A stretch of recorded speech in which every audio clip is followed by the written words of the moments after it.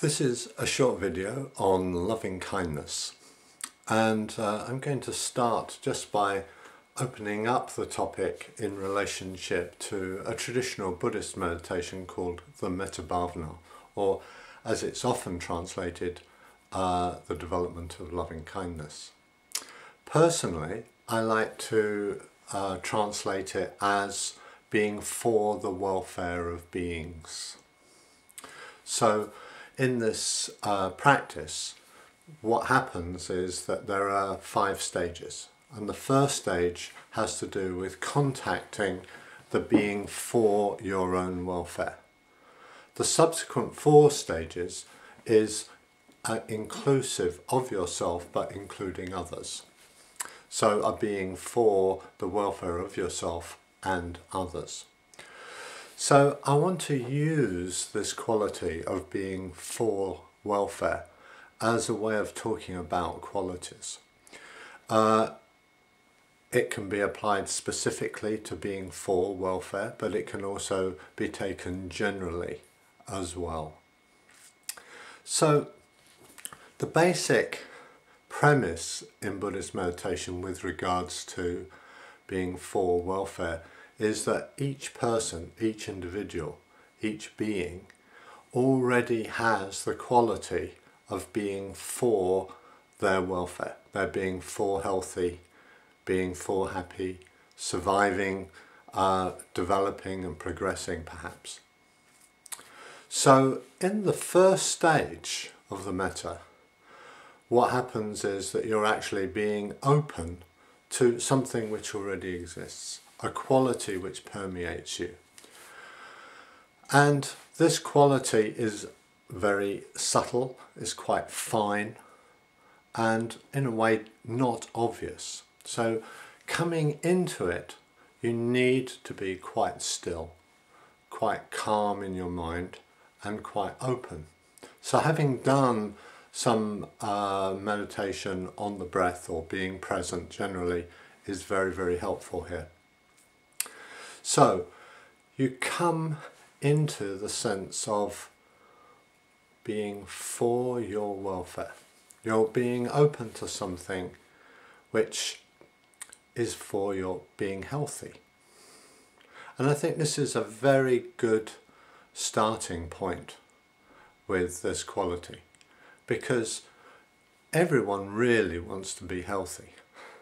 And there might be ways in which uh, that has been lost or deviated from or forgotten. But deep down we all want to be healthy.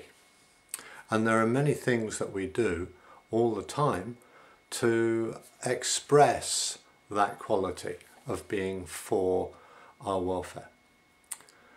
Now, I really like the, just using this one word, for. It's very clear, it's very expressive and experiential. It's very different from being against or indifferent. So if I'm for my health, I can actually feel it as a, a particular quality that's for drinking good water, brushing my teeth, eating good food, being in conditions that are healthy and, and, and stimulating to health.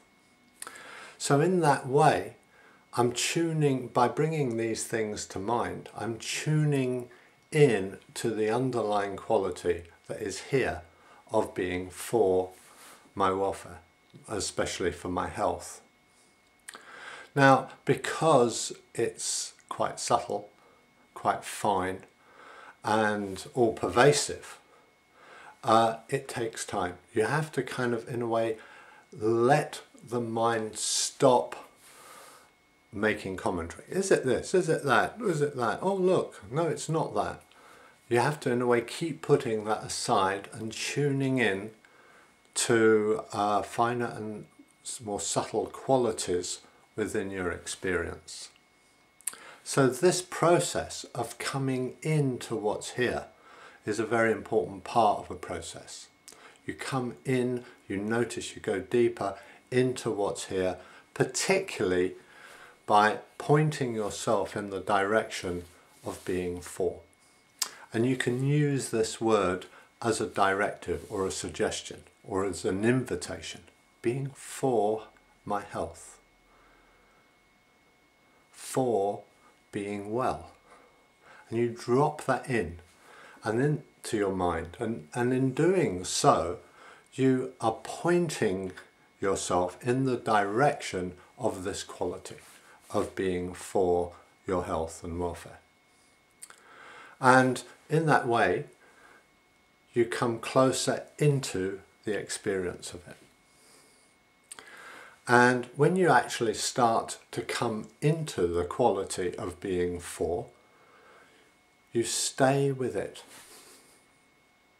You just let it be here, you stay with it, and your activity, you could say, is to keep yourself in it, keep your mind with it.